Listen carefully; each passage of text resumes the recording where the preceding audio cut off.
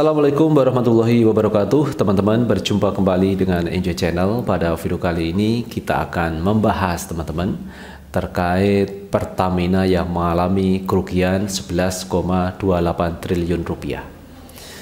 Kita menjadi kaget Kenapa Pertamina mengalami kerugian yang cukup besar? Bukankah Pertamina itu badan usaha milik negara yang cukup lama Yang sudah punya banyak pengalaman dan diisi oleh orang-orang hebat di dalamnya. Apalagi kemarin Pak Erick Thohir ini sudah mengangkat Basuki Cahaya Purnama alias Ahok menjadi Dewan Komisaris di Pertamina. Dengan kehadiran Ahok ini harusnya Pertamina akan semakin maju sesuai dengan ekspektasi dari Pak Erick Thohir. Ekspektasinya tentu Ahok ditempatkan di sana karena Ahok sudah punya pengalaman dalam pengawasan. Jadi fungsi pengawasan Ahok sudah punya. Kemudian yang kedua, Ahok ini sebagai pendobrak yang akan e, bisa mencapai target-target yang sudah ditentukan di Pertamina. Targetnya tentu dengan Ahok di sana keuntungan Pertamina akan semakin banyak. Bukan mengalami kerugian yang seperti yang dialami sekarang. 11,28 triliun rupiah. Angka yang cukup besar, teman-teman. Kenapa bisa rugi? Padahal Ahok dulu pernah mengatakan laba Pertamina ini bisa mencapai 800 triliun rupiah. Ini kalau kita lihat bisa melampaui uh, pendapatan APBN kita. Tetapi dalam kurun waktu teman-teman ternyata malah rugi 11,28 triliun rupiah. Yang kedua, Ahok juga pernah mengatakan merem saja ini Pertamina sudah untung. Logika itu memang benar teman-teman. Jadi dengan tidur saja Pertamina itu untung karena setiap hari ada orang yang beli minyak Pertamina itu. Jadi setiap kita pergi keluar rumah ini kan tentu membutuhkan BBM. Perlu Pertamina. Nah, maka kita beli di Pertamina minyak itu. Sehingga logika kita ketika semua rakyat Indonesia beli Pertamina maka harusnya keuntungannya itu besar di Pertamina tidak mengalami kerugian, tetapi yang kita lihat adalah kerugian. Itu yang kita lihat teman-teman dari sosok Basuki Cahayapurnama yang ekspektasi orang. Ekspektasi itu adalah uh, keinginan dan harapan orang dengan adanya Ahok di Pertamina, maka Pertamina akan jauh lebih besar, lebih maju dari sekarang. Tetapi di saat sekarang justru Pertamina mengalami kerugian. Ini sangat disayangkan kembali. Nah teman-teman kita akan lihat beritanya di kumparan ini. Ahok pernah bilang Pertamina merem aja pasti untung. Kini rugi 11,28 triliun. Jadi merem saja, tidur saja ini sudah untung. Logika itu sebenarnya benar teman-teman. Seperti yang katakan tadi, ketika kita tidur, ketika pom-pom Pertamina itu ada orang yang beli, maka di situlah uang akan mengalir terus perputaran ekonomi dari Pertamina itu akan jalan terus. Berarti kan ada keuntungan. Kenapa kalau tidak ada keuntungan mau berbisnis? Karena bisnis adalah e, targetnya memang keuntungan. PT Pertamina Persero mencatatkan kerugian senilai 767,92 juta dolar Amerika atau setara dengan 11,28 triliun pada tahun berjalan semester pertama 2020. Padahal periode yang sama tahun lalu, perusahaan masih meraup untung 659,9 juta dolar Amerika. Artinya di tahun kemarin ini Pertamina mengalami keuntungan. Tetapi di semester pertama tahun 2020 Pertamina mengalami kerugian 11,28 triliun rupiah.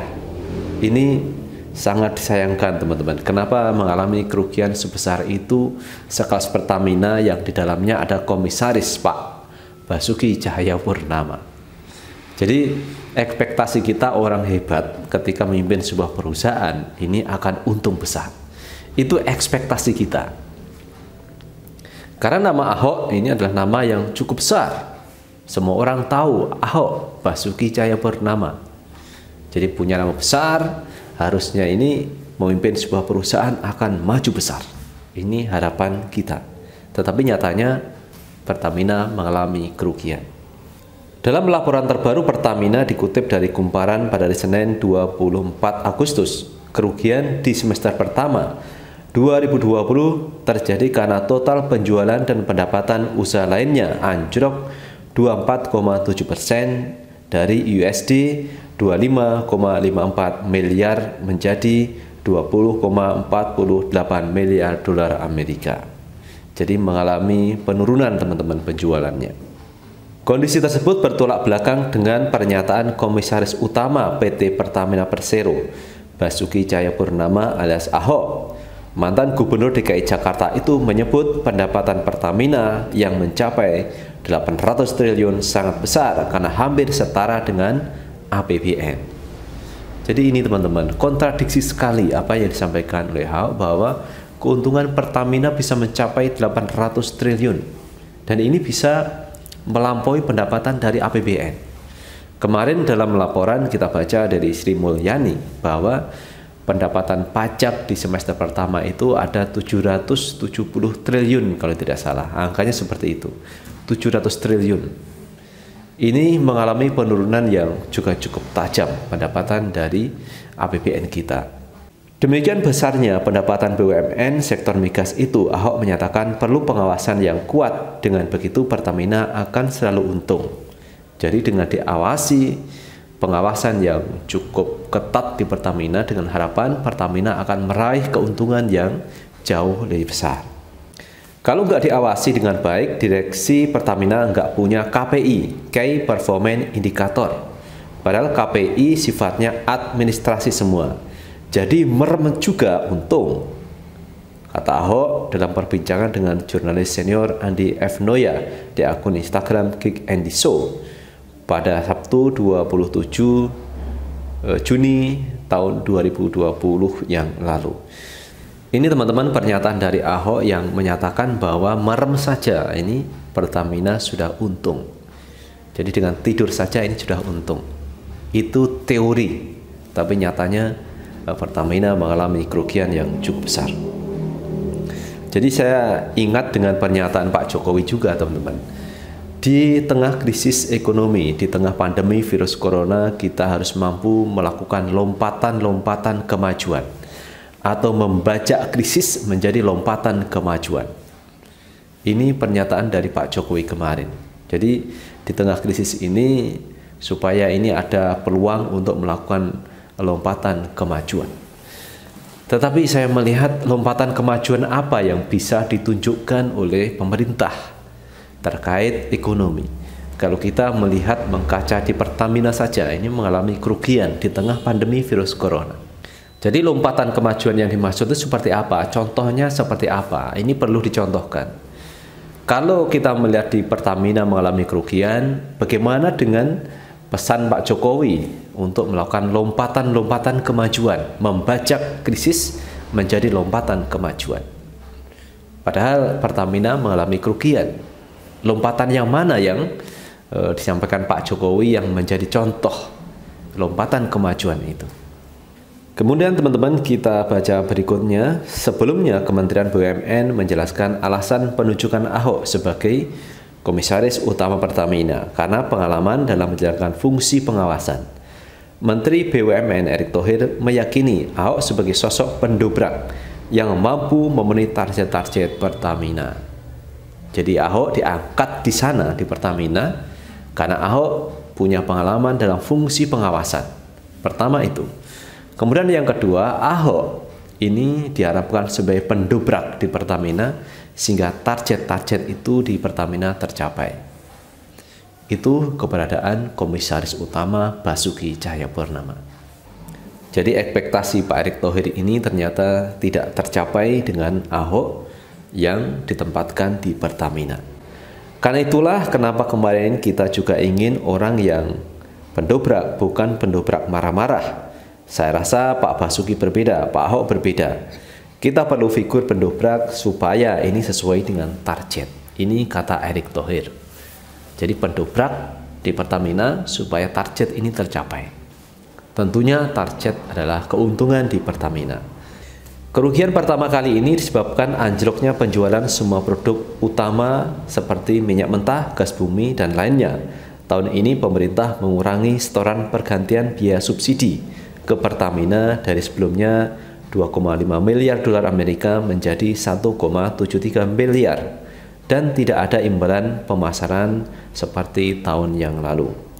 Kerugian kus Pertamina kali ini juga mencapai 211,83 juta dolar Amerika, berbalik dibandingkan tahun lalu yang untung 64,59 juta dolar Amerika. Jadi tahun lalu ini mengalami keuntungan di Pertamina, tetapi tahun sekarang di semester pertama ini mengalami kerugian 11,28 triliun rupiah. Nah, teman-teman, saya melihat Pertamina ini sebagai leading sektor yang bisa melayani seluruh rakyat Indonesia. Karena dengan Pertamina ini bisa membuat perekonomian bisa berjalan. Kita tidak bisa bayangkan teman-teman, jika tidak ada minyak, tidak ada BBM, bagaimana perjalanan kita, bekerja kita dalam kehidupan sehari-hari. Karena kita melakukan transportasi ke sana kemari ini perlu BBM. Dengan Pertamina ada ini sebenarnya sangat membantu masyarakat. Tetapi harapannya tentu sebagai badan usaha milik negara, Pertamina harusnya untung, bukan mengalami kerugian. Karena ini bentuk usaha. Badan usaha milik negara yang dikelola negara sahamnya 100% dari negara, dari pemerintah. Jadi harusnya ini lebih profesional sehingga Pertamina mengalami keuntungan. Terus yang kedua yang kita sorot teman-teman terkait banyaknya badan usaha milik negara yang mengalami kerugian. Ini harusnya menjadi koreksi pemerintah.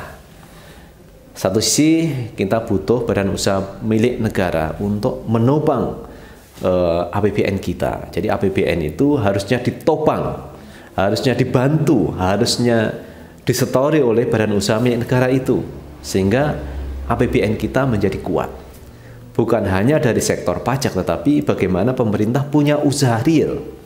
Pemerintah punya usaha yang bisa e, memasukkan dananya ke APBN. Harapannya kan seperti itu. Jadi kita bisa bayangkan teman-teman, jika pendapatan APBN kita itu tidak dari pajak, mengandalkan dari badan usaha milik negara, kemungkinan negara atau pemerintah ini tidak bisa berbuat apa-apa. Jadi untung ada pajak rakyat yang setiap hari rakyat itu memberikan pajaknya kepada pemerintah. Sehingga pemerintah bisa berjalan sampai sekarang. Jadi menurut saya teman-teman Pertamina itu harusnya diisi oleh orang-orang yang punya integritas, yang punya pengalaman, yang punya dedikasi untuk bangsa dan negara. Bukan motivasinya mencari pekerjaan, bukan motivasinya mencari keuntungan sesaat, jadi bukan diisi oleh orang-orang politisi, orang-orang partai yang mencari pekerjaan. Ini yang bisa menyebabkan perusahaan-perusahaan itu mengalami kerugian karena memang tidak di bidangnya. Jadi tidak di bidangnya masuk di sebuah perusahaan. Nah, bagaimana pendapat dari teman-teman? Silahkan tulis di kolom komentar karena komentar teman-teman akan sangat membantu mencerahkan yang lain. Dan terakhir teman-teman, Jangan lupa untuk tetap like, subscribe, share, dan komen di channel ini agar kita bisa membangun channel ini menjadi lebih baik lagi. Sukses selalu. Assalamualaikum warahmatullahi wabarakatuh.